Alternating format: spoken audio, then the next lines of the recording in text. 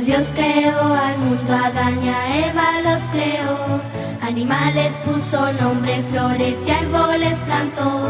Con amor cantemos todos al Señor, porque Él es nuestro creador. creador. Las hormigas perseveran trabajando con amor.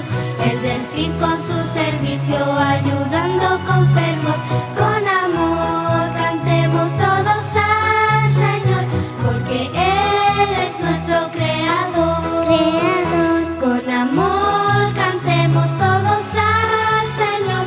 porque Él es nuestro creador.